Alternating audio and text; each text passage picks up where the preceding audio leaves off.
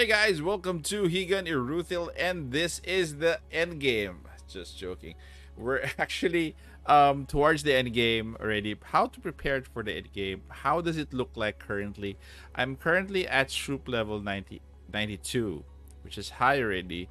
It's really difficult to go up every level. And uh, I just want to share with you guys how my roster looks like at this point.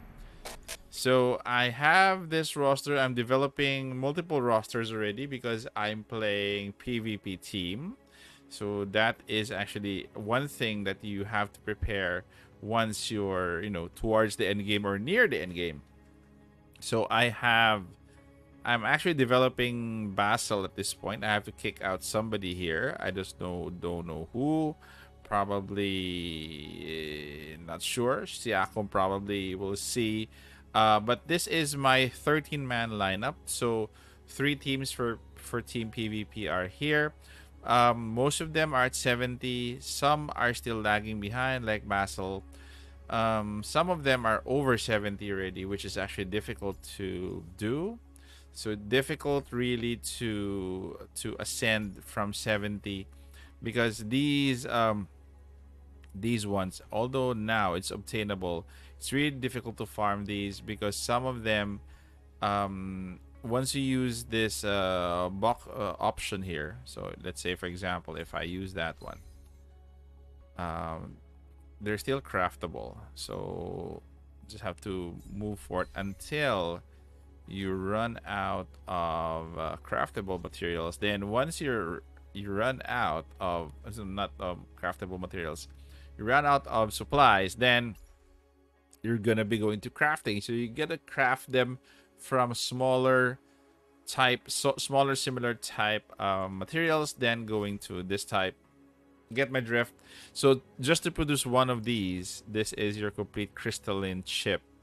You will need three of these, your double crystalline chip. So that's a lot of farming just to go over 70. So at this point, I'm just limiting myself to to four probably go to five eventually. i'm not sure who to. I'm. This is actually my main team, so you get my main team: Cerslet, Rita, gilden and Nunu. And also, it's really difficult to farm these materials because from level 70 up, you're gonna be using these only exclusively to farm from you know 71 and up so this this is the only um, currency that they they will allow you to use. You can no longer use these currencies when you are going up from 70 to 71. Okay, so that is basically a bummer. So a lot of farming to be done in the end game, definitely. This is my roster, guys. Um, comment comment down below on how my roster looks if it's good enough so so so far I'm happy with this. Main DPS would be Cerslet and Rita. Gildan would be my tank and Nunu is my main healer. Okay, so so far as far as the tasks is concerned, I usually clear daily, weekly, uh, clear growth already. Main story, this is just because I lack the energy. I'm currently finishing the Phoenix event the Burning Phoenix event. This has 16 hours to go. I'd like to finish this uh, tomorrow as I wake up in the morning. I'd like to finish this because I'm already at, um, in terms of the gacha shop, I'm actually in the last. I have 30 pulls here. So I need to farm, you know, farm the feathers here for, you know, to, to redeem at least 3,000 more. So again, uh, for adventure, uh, that's for the task.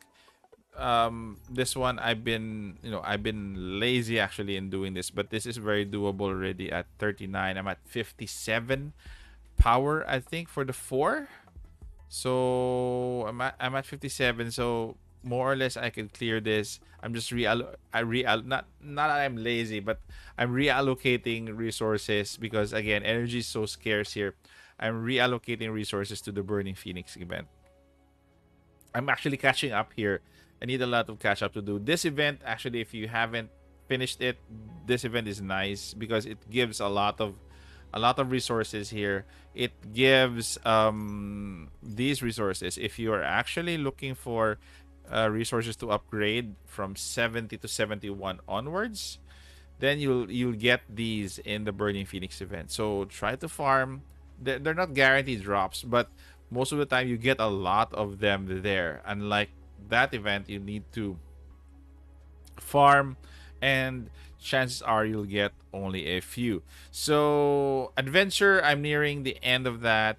Um what i am supposed to do is to finish all of the stages here. This also needs to be finished.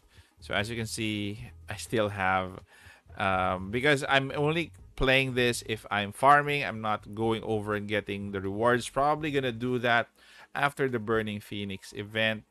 Okay, so again, for the roster, guys, um, you be you need to develop multiple teams for team PvP also for PvP because uh, not only team PvP but PvP because PvP and team PvP the, these are your content really for the end game. These are currently um sorry um keep on pressing the wrong button. So director showdown there you go. So this one will far will will, will get you a lot of uh, um uh summoning currency. Single fight and team fight. Again this will be end game content. You have to develop your your your your your uh, roster for this one. Multiple teams probably theme teams in the future encroaching cold um you have your ignite teams your fire teams. You have your what's the other team I forgot the other team. So my point is you'll have to develop uh, multiple teams, probably theme teams that will fit each of the stages moving forward. Sorry, wind or animo teams will also um, have their theme as well. So those will carry over to the end game. And I just want to take note, guys. Um, if you haven't noticed this, there's a weapon icon here. It's actually no use. It's just an icon at this point. But in the previous incarnations of uh, of this game, the weapon was actually upgraded. So it, this was upgraded. This was part of your stat. I'm not sure if they're bringing it back, but it would be nice if they would bring this back and give more buffs to your to your heroes. So again, weapon might be one of the end game upgrades that we will be having. So at this point, um, what to prepare for the end game? So you will have to farm better plays, play sets. You'll have to farm play sets, and where to farm them? You'll be farming them in here, Outland. You'll be farming them in your mesmerizing labyrinth so this is where you'll have to end up. You'll have to complete this, the last stage. This is actually one of the best stages for farming. And you have to also prioritize on the days that you need to farm. Sorry, this one. So I just clicked on it. So for each day, there's a different drop, a priority drop. If you want to save it for a specific drop, be my guest. But more or less it's ideal that you don't save as much because sometimes you don't you can't finish everything. So again farming better play sets is going to be key for the end game. Also what you need to prepare is in your plays. Let's say for example for for Cerslet I'm not changing her plays anymore so this is going to be her specific play. This is her. So again, upgrade is one of the things that we're doing. Exalt is going to be harder because you need copies or Sublime Muse to use it. Adapt, however, is going to also play a key. So you need to make sure that you use the gold ones. The gold ones actually have four slots in them.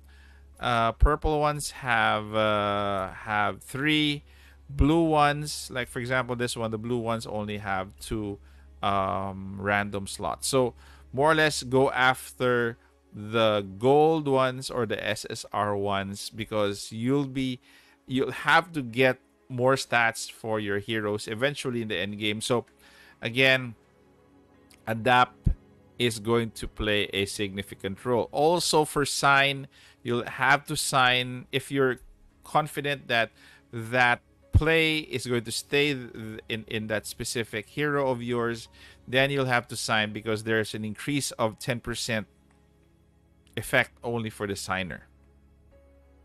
Okay, so basic stats will have an increase. So currently for uh, for her, for Cerslet, she already has signed. So end game upgrades will be important, guys. I I'm not kidding you. They're going to put you through um, more content in the future and to be able to walk through to go over content in the future. Also, weapon might play a part. I'm actually thinking that they might might add upgrades to weapons. So again, just gonna repeat that for you guys. But there would be content that I think they need to open yet. One is the Union. Union is guild type, probably boss fights and lots of rewards. I'm actually hoping that that is the scenario for the guild. I'm excited for the guild because a lot of people asking me to create a guild, which definitely I will when this opens. But again, this is one of the content that we are looking for in the end game. I'm glad that they locked this so that we could just finish up, you know, warming up to the game for the first three weeks or the month, and probably they could open Union for us, and so that we could play guild battles with other guilds, with bosses, and I'm really, really looking forward to this for the end game.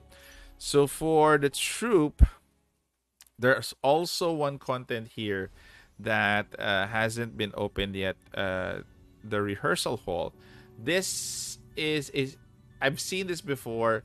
It's like a a piano room we're in rehearse. I haven't I, I haven't really gone through rehearsal hall, but and let's go back to the lobby, guys, and uh, go through uh, Outland one last bit. There's another content there that needs to be unlocked as well for the end game, which is translucent domain. So again, um, I just really, really hope that the end game content is going to be worth all the grinding that we have at this point um, there are a few things that I think that they should, you know, address um, the energy system because again, if they really want us to spend, I really do hope it's in summons, not in spending and not in spending energy. So, guys, devs, please make make changes in in in, in the energy system because it really lack energy here in this game. Right now, we're spending summoning currency for energy, which is a bad thing at this point. I don't really like this setup. They should change that. Farming also for no, no Dobriostals would you know be a good improvement in the future if they could you know have sorry consistent ways to farm the Dobriostals. That would be good. And also, um, in terms of the banners, again, I get that you want to put out a lot of banners, but um, the the way that banners have been put out have been such a crazy pace. The only reason why it's such a crazy pace, I think, as well, is that they they plan to release new characters right away, and they're releasing, you know, like now, Shero is out. Then the next banner is Liv, which is a current character. So at this point, I'm I'm not really it's not really a problem, but again, a lot of banners is going to give the community a bad taste in terms of not being able to save for a specific banner. I know that not every banner, not every hero in this game you'll get every in every banner, but again, uh, players need to save. At least give them the chance to save for the next banner before you roll them out. So again, hopefully, I think there will be collabs in the future for this game. So hopefully, in those collabs, we can save more at this point. But who knows? So that is the end game content, guys. So, what do you think of the end game? What do you think? Um, I, I need your comments. Um, so again, prepare for the end game upgrades. Um, upgrade all as much as possible. Develop your teams. Prepare for you know theme teams, or or or or what do you call this? Or specific teams, if I may say. And again, there are a lot of you know content still available to be unlocked. So I'm looking forward to what do they open next. Okay, so now that I'm in the end game, I'm just finishing up everything, polishing my account, and there you go. Thank you very much, guys, for staying this far. Take care, stay safe. This is the Warden, and I'm out of here.